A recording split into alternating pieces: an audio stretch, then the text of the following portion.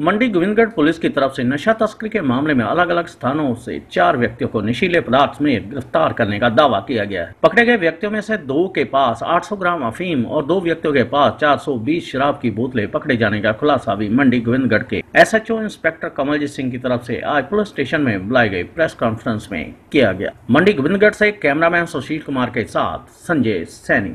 सुखविंदर सिंह जी ने ड्यूटी के बाहर नाका लाया एक गड्डी आई ਜਿਹੜੀ ਹੈਗੀ ਆ ਅਮੇਜ਼ ਕਾਰ ਆ ਨਵੀਂ 60 75 ਨੰਬਰ ਆ PB 11T ਉਹਦੇ ਵਿੱਚ ਜੋ ਚੈੱਕ ਕਰਕੇ ਰੋਕਿਆ ਨੂੰ ਉਹਦੇ ਵਿੱਚ ਦੋ ਨੌਜਵਾਨ ਬੈਠੇ ਸੀ ਆਦਮੀ। ਇੱਕ ਜਿਹੜਾ ਚਲਾ ਰਿਹਾ ਸੀ, ਬਲਜਿੰਦਰ ਸਿੰਘ, ਜਿਹੜਾ ਉਹ ਨਾਲ ਬੈਠਾ ਸੀ, ਉਹਦੀ ਜੇਬ ਵਿੱਚੋਂ 600 ਗ੍ਰਾਮ ਫੀਮ ਤੇ ਜਿਹੜਾ ਦੂਸਰਾ ਆ, ਉਹਦੀ ਜੇਬ ਵਿੱਚੋਂ 200 ਗ੍ਰਾਮ ਫੀਮ ਫੀਮ ਬਰਾਮਦ ਹੋਈ, ਲਖਵੀਰ ਸਿੰਘ।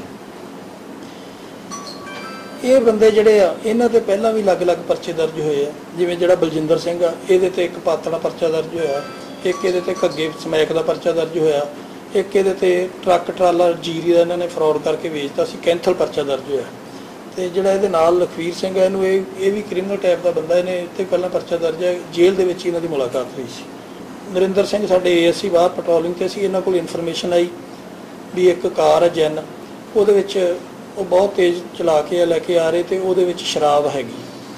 ਨਜਾਇਜ਼ ਜਿਹੜੀ ਸ਼ਰਾਬ ਲੈ ਕੇ ਜਾ ਰਹੇ ਆ ਤੇ ਉਹ ਬਹੁਤ ਤੇਜ਼ ਚਲਾਉਂਦੇ ਆ ਰਹੇ, ਹੋ ਸਕਦਾ ਫਿਰ ਇੱਕ ਅੱਗੇ ਜਾ ਕੇ ਉਹਨਾਂ ਨੇ ਐਕਸੀਡੈਂਟ ਵੀ ਕੀਤਾ ਹੈ ਤੇ ਉਹਨਾਂ ਨੇ ਫਟਾਫਟ ਨਾਕਾਬੰਦੀ ਕਰ ਲਈ ਇੱਥੇ ਆਪਣੇ ਸਬ ਤਹਿਸੀਲ ਦੇ ਕੋਲ।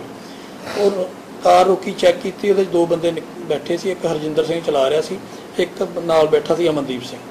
ਉਹ ਕਾਰ ਦੀ ਜੋ ਸਰਚ ਕੀਤੀ, ਚੈੱਕ ਕੀਤੀ, ਉਹਦੇ ਵਿੱਚੋਂ 35 ਡੱਬੇ ਸ਼ਰਾਬ ਦੇ ਨਿਕਲੇ। ਬਾਕੀ ਇਹਨਾਂ ਦੀ ਇਹ ਪੁੱਛਗਿੱਛ ਕਰਾਂਗੇ ਹੁਣ। ਅੱਗੇ ਕਿਹਦੇ ਲਈ ਕੰਮ ਕਰਦੇ ਆ?